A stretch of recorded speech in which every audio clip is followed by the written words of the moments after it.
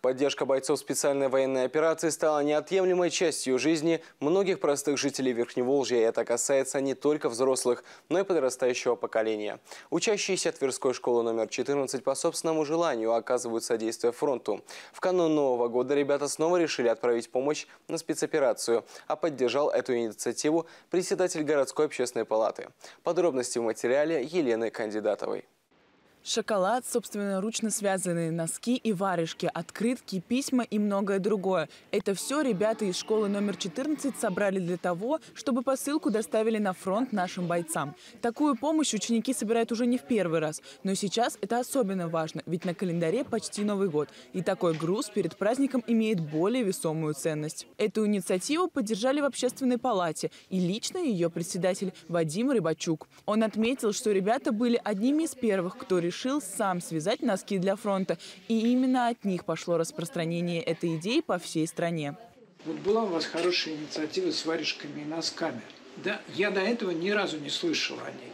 И потом, когда мы объявили об этом, собрали варежки, носки, отправили, рассказали об этом в средствах массовой информации, в новостях тут и там начали появляться аналогичные истории. Да. Да?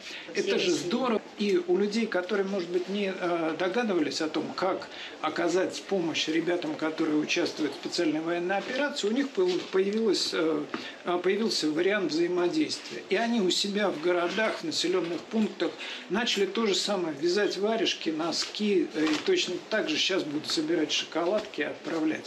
Помимо общественной палаты, помощь в перевозке гуманитарной помощи от школы оказывает глава фонда Твери, волонтер и руководитель волонтерской организации «Мы вместе», депутат Госдумы России Юлия Саранова. Я не понаслышке знаю, как для наших военнослужащих, для наших ребят ценно и важно а, получать от вас вот эти весточки. Потому что ваши пожелания, ваши а, знаете, вот эти душевные э, переживания, которые вы в эти подарки тоже вложили, они на самом деле э, для наших бойцов как ну, такой оберег. Юлия Саранова наградила благодарственными письмами директора, учащихся и весь педагогический коллектив школы, которые остаются неравнодушными к бойцам и стараются хоть как-то помочь им из тыла. Директор МОУ СОШ номер 14 заметила важность того, что идею, которую предложили ученики, все же смогли реализовать до конца, и посылки действительно доходят до адресатов. Без поддержки Вадима Рыбачука и Юлии Сарановой это осуществить было бы гораздо сложнее. Разрешите поблагодарить вас за ту помощь и поддержку, которую вы оказываете нам в наших начинаниях, потому что любой проект должен дойти до своего логического завершения точки. И ваша помощь э, в доставке вот этого символа детского сердца, да, вот именно шоколад, потому что обычно привыкли, что дети получают подарок на Новый год сладкий от взрослых.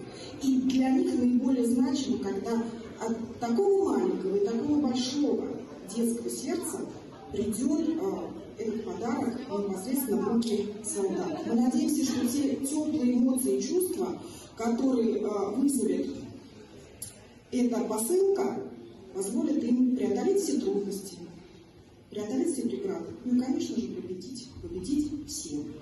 Как уже говорилось, в преддверии Нового года ученики собрали особую посылку, которая наполнена не просто продуктами и вязаными носками. В нее также поместили сладости и поздравительные открытки, как символ предстоящего праздника. Неравнодушность школьников к таким серьезным вещам позволяет говорить о том, что сейчас воспитывается хорошее поколение.